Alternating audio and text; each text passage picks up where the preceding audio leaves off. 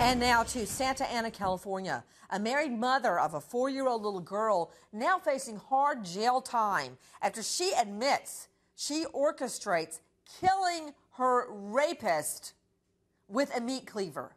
She did not participate in this willingly. After her alleged rape, Esparza says Van took her to a bar in search of Ramirez. I was terrorized uh, and I wasn't participating at all. Police believe that's when the murderous plan was put into motion.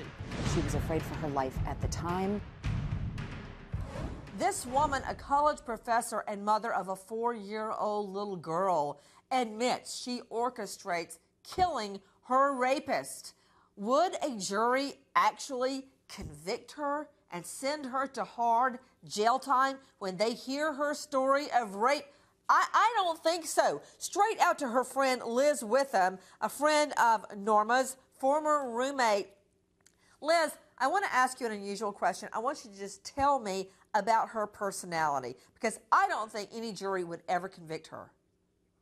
Um, she's an incredible person. Um, she's a generous, kind, loving person. Um, we actually we were we were put together as roommates at Phillips Exeter Academy as freshmen, and we enjoyed each other's company so much we actually decided to live together again the following year. So you know, I, I can't say enough good things about her well, and her tell. Me, tell me, Liz, about her as a mother to this four-year-old little girl. And you know, if you put a, a jury full of women, they might think that that is fair play for your rapist to be murdered. So, what kind of mother is she to her four year old little girl?